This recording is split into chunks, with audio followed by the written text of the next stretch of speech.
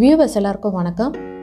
எல்லாருக்கும் பயன்படக்கூடிய சமையல் குறிப்புகளை பற்றி தான் இந்த பதிவில் நாம் தெரிஞ்சுக்க போகிறோம் முதல்ல தயிர் ரொம்ப நேரம் புளிக்காமல் இருக்கணும்னா இஞ்சியை தோல் சீவி விட்டுட்டு கொஞ்சமாக தட்டி தயிரில் போட்டு வச்சா தயிர் ரொம்ப நாளுக்கு புளிக்காமல் இருக்கும். ரெண்டாவது தேங்காய் துருவல் மீந்து போயிட்டா அதை லேசாக வதக்கி கொஞ்சமாக உப்பு சேர்த்து வச்சுட்டா மறுநாள் சமையலுக்கு அதை எடுத்து பயன்படுத்திக்கலாம். மூணு. ஒரு சிலருக்கு வெங்காய சட்னி செஞ்சா லேசா கசப்பு தன்மை ஏற்படும். அதை தவிர்க்க வெங்காயத்தை லேசா எண்ணெய் விட்டு வதக்கிட்டு அதுக்கப்புறமா அரைச்சி சட்னி செஞ்சா வெங்காய சட்னி கசப்பு இல்லாம ருசியா இருக்கும். நாலு. பச்சளைக்கீரையும் பச்சை காய்கறியும் கீரை வகைகளையும் சமைக்கும் போது கொஞ்சமாக சர்க்கரையை சேர்த்து சமைக்கணும். இதனால் கீரை வகைகளோ பச்சை காய்கறி வகைகளோ சமைச்சதுக்கு அப்புறமும் அதோட பச்சை நிறம் மாறாமல் அப்படியே இருக்கும் ருசியாகவும் இருக்கும். அஞ்சு நம்ம மாவு வைக்கிற டப்பாங்களில் பிரியாணி இலையை போட்டு வச்சா மாவு ஈரமாகாமல் இருக்கும் கட்டி விழாமல் நல்லா இருக்கும். ஆறு கேக் செய்யும்பொழுது ஒரு சில நேரங்களில் முட்டை வாடை ஏற்படும். அதை தவிர்க்க கேக்குக்கு மாவு பிசையும் போது ஒரு கரண்டி அளவு தேன் சேர்த்து பிசைஞ்சா அதிகப்படியான முட்டை வாடையை அது நீக்கிடும். ஏழு. தேங்காயை துருவும் போது ஓட்டையும் சேர்த்து துருவி பயன்படுத்தினா குடலில் புண் ஏற்பட வாய்ப்பு இருக்கு. அதனால வெள்ளை பகுதியை மட்டும் பயன்படுத்துறது நம்ம ஆரோக்கியத்திற்கு நல்லது. எட்டு.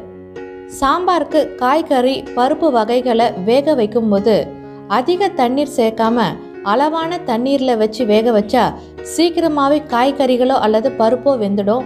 அதனால கேஸும் வீணாகாது. ஒன்பது. சாம்பார் வத்தல் குழம்பு செய்யும் போது காரம் அதிகமாகிட்டா அதில் கொஞ்சமாக நல்லெண்ணெயை ஊற்றி ஒரு பத்து நிமிஷம் கொதிக்க விடுங்க. இதனால் காரம் குறைஞ்சி சாம்பாரும் வத்தல் குழம்பு நல்லா ருசியாக மாறிடும்.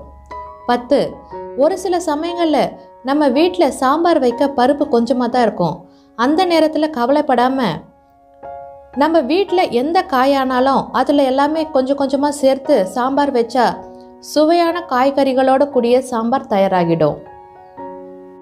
பதினொன்று அரிசி அலசின ரெண்டாவது தண்ணீரில் பருப்பை வேக வச்சு சாம்பார் செஞ்சால் சாம்பார் ரொம்பவும் ருசியாக இருக்கும்.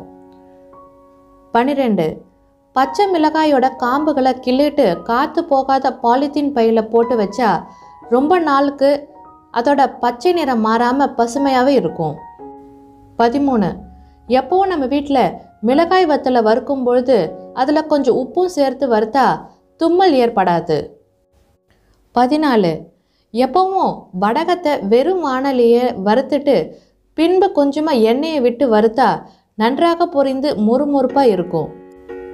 பதினஞ்சு ஜுரம் இருக்கிறவங்களுக்கு வேப்பம்பூவை நெய்யில் வறுத்து கொஞ்சமாக உப்பும் சேர்த்து சாதத்தில் பிசைஞ்சு கொடுத்தா ஜுரம் சீக்கிரமாகவே சரியாகிடும். பதினாறு. அருகம்புள்ள சாறு எடுத்து சப்பாத்தி மாவில் கலந்து ரொட்டி செஞ்சு சாப்பிட்றது ரொம்பவும் நல்லது. அதில் இருக்கிற தாது உப்பும் விட்டமின்களும் உடல் ஆரோக்கியத்திற்கு ரொம்பவும் நல்லது. பதினேழு. எந்த ஒரு ஸ்நாக்ஸ் செஞ்சாலும் அதில் கொஞ்சம் மொறுமொறுப்பு தன்மை இருந்தால் தான் சுவை அதிகமாக இருக்கும். அதற்கு அரிசி மாவு இல்லாட்டி கார்ன்ஃப்ளவர் மாவும் சேர்த்து ஸ்நாக்ஸ் செஞ்சால் ஸ்நாக்ஸ் ரொம்பவும் மொறுமொறுப்பாக இருக்கும் ருசியாகவும் இருக்கும். பதினெட்டு. மைசூர் பாக் செய்யறதுக்கு முன்னாடி கடலை மாவை டால்டாவில் கரைச்சிட்டு அதற்கு பின்பு சர்க்கரை பாகில் ஊற்றி கிளறினா கட்டி இல்லாமல் ரொம்பவும் சாஃப்டாக மைசூர் பாக் வரும். பத்தொன்பது. ஜாடியில் ஊறுகாயை போட்டு சேமித்து வைக்கிறதுக்கு முன்னாடி நல்ல சூடான எண்ணெயில் ஒரு சுத்தமான காட்டன் துணியால் நினச்சி ஜாடியோட உட்புறத்தை நல்லா தொடச்சி எடுத்துட்டு அதுக்கு பிறகு ஊறுகாயை போட்டு மூடி வச்சா ஊறுகாய் ரொம்ப நாள் கெடாம நல்லா இருக்கும். இருபது உளுந்த வடை செய்யும் பொழுது உளுந்த மாவோடு வேக வச்ச உருளைக்கிழங்கையும் மசிச்சு கலந்து வடை செஞ்சா உளுந்த வடை எண்ணெய் குடிக்காம மொறு மொறுன்னு நல்லா ருசியா இருக்கும். இருபத்தி ஒன்று கேசரி பால்கோவா தேங்காய் பர்ஃபி போன்ற இனிப்பு பலகாரங்களை செய்யும் பொழுது நான்ஸ்டிக் பாத்திரத்தில் செஞ்சால் அடி பிடிக்காமல் எளிதாக கிளற நமக்கு இருக்கும். இருபத்தி ரெண்டு நம்ம வீட்டில் கருவேப்பிலை செடியை நல்லா வளர வைக்கணும்னா அதுக்கு புளிச்ச மோரோடு தண்ணியும் கலந்து ஊற்றி வளர்த்துனா கருவேப்பிலை செடி சீக்கிரமாகவே பெருசாக வளரும். இருபத்தி மூணு சமோசா சோமாஸ் போன்ற பலகாரங்களை செய்யும் பொழுது நல்ல மொறு மொறுன்னு வரணும்னா மாவு பிசையும் போது அதில் கொஞ்சமாக உப்பு சோடா மாவு சூடு செஞ்ச பட்டர் இல்லாட்டி நெய்யை ஊற்றி கொஞ்சம் கொஞ்சமாக தண்ணீரும் ஊற்றி சாஃப்டாக பிசையணும். இந்த மாதிரி நம்ம செஞ்சால் சமோசா இல்லாட்டி சோமாசம் ரொம்பவும் கிறிஸ்பியாகவும் மொறுமொறுப்பாகவும் இருக்கும். இருபத்தி நாலு பாகற்காயோட உப்பு மஞ்சள் தூள் வெல்லம் எலுமிச்சை சாறு இது எல்லாத்தையும் சேர்த்து கலந்து அரை மணி நேரம் ஊற வைக்கணும். இதனால் அதில் இருக்கிற கசப்பு தன்மை எல்லாம் நீங்கிடும். இந்த மாதிரி ஒரு அரை மணி நேரம் ஊற வச்ச பின்பு பாகற்காயை எடுத்து சமைச்சு சாப்பிட்டா அதில் இருக்கிற அதிகப்படியான கசப்பு தன்மை நீங்கி நல்ல ருசியாக இருக்கும். இருபத்தி அஞ்சு. பொங்கல் செய்யும் பொழுது சீரகத்தை கொஞ்சமாக கையில் நல்லா தேய்ச்சி போட்டால் சீரகத்தோட மனம் இன்னும் அதிகமாக இருக்கும். இருபத்தி ஆறு. பூரிக்கு மாவு பிசையும் போது தண்ணிக்கு பதிலாக ஒரு கப் பாலையை சேர்த்து பிசைஞ்சு பூரி செஞ்சால் பூரி ரொம்ப ருசியாக இருக்கிறதோட ரொம்ப மிருதுவாகவும் இருக்கும். இருபத்தி ஏழு. வாழைக்காய் வாழைப்பூவை நறுக்கும் போது கைகளில் கரை ஏற்படாமல் இருக்க கைகளில் கொஞ்சமாக உப்பை தடவிட்டு வாழைக்காய் வாழைப்பூவை நறுக்கலாம். இருபத்தி எட்டு. தோசைக்கு மாவு அரைக்கும் போது கொஞ்சமாக ஜவ்வரிசியை ஊற வச்சு சேர்த்து அரைச்சா தோசை ரொம்ப நல்லா வரும் முறுமுறுன்னு இருக்கும். இருபத்தி ஒன்பது. உருளைக்கிழங்கு வேக வைக்கும்போது அது வெந்ததும் வெடிப்பு ஏற்படாமல் இருக்க உருளைக்கிழங்கு வேகும் போது கொஞ்சம் உப்பையும் சேர்த்து வேக வைக்கணும். இதனால உருளைக்கிழங்கு வெடிக்காம நல்ல பதத்தோட இருக்கும். முப்பது. பருப்பு பொடி செய்யும் பொழுது துவரம் பருப்புக்கு பதிலாக பொட்டுக்கடலை மாவு வரமிளகாய் பூண்டு கொப்பரை தேங்காய் இது எல்லாத்தையும் சேர்த்து அரைச்சி பருப்பு பொடி செஞ்சா பருப்பு பொடி ரொம்பவும் ருசியாகவும் மணமாகவும் இருக்கும்.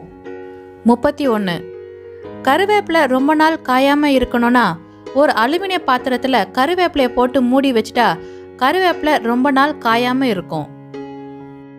முப்பத்தி ரெண்டு வறுத்த வெந்தயத்தை பொடி செஞ்சு சாம்பாரில் போட்டு செஞ்சா சாம்பார் சுவையாகவும் நல்ல மணமாகவும் இருக்கும்.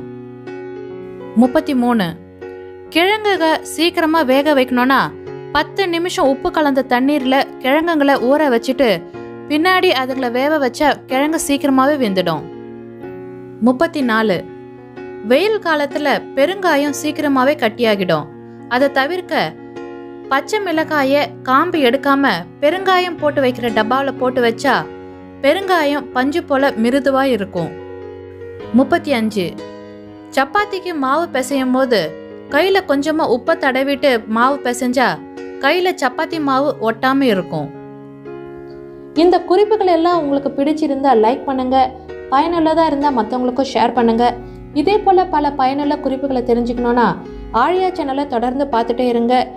மறக்காமல் ஆழியா சேனலை சப்ஸ்கிரைப் பண்ணுங்க. பக்கத்தில் இருக்கிற நோட்டிஃபிகேஷன் பில் பட்டனையும் ப்ரெஸ் பண்ணிவிடுங்க நன்றி.